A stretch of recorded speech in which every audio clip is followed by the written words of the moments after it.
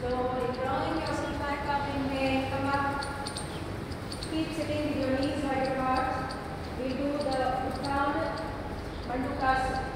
So your knees are wide apart. Your vitals are